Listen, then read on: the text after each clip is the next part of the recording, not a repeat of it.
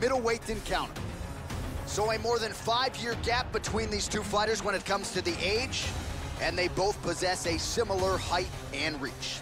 Here's Bruce Buffer.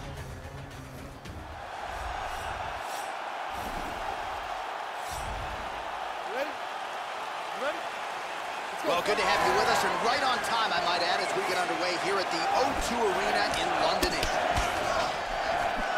Nice punch there by Maia. Try to establish that jab. That one hurt. Hit him with that straight left there. So both guys landing at will here. Good action early. Joe, huge block there. The defense is holding up. Using his jab effectively here, it's an underutilized weapon by a lot of fighters, not this guy. And there's a right.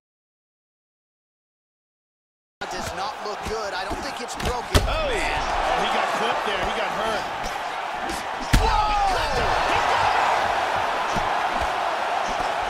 Big straight punch. Oh, look at this. Who saw that coming?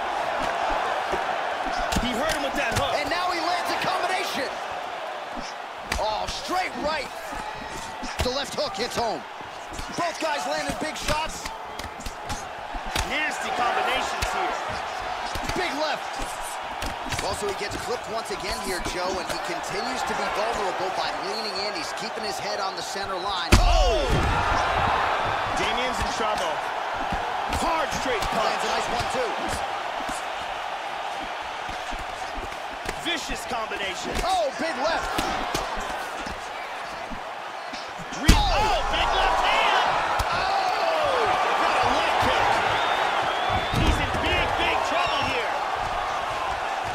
Full guard here. Back to the guard position. Back to his feet again. Amazing.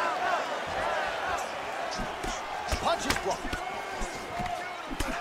How about that shin? Well, he established the jab early and going right back to the well here. Oh, tagged him. That strike blocked by Maia. He got tagged there. Big Oh, right he hand. Oh, right hand. Yeah, looks a little wobbly on his feet. he's stumbling. He hurt him. Oh, he might be out. This is no.